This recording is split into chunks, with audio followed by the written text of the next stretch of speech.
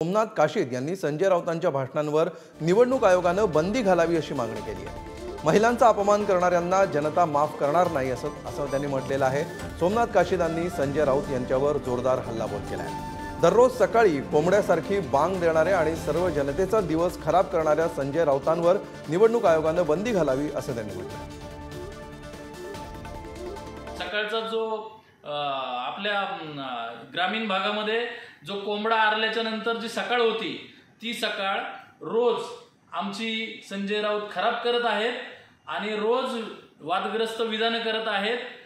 कालचं जे वक्तव्य आहे जे महिलेचा अपमान करणारे वक्तव्य आहे त्या वक्तव्याचा मी जाहीर निषेध करतो आणि संजय राऊतांच्या भाषणांवरती निवडणूक आयोगाने तात्काळ बंदी घालावी अशी मी मागणी निवडणूक आयोगाकडे करतो.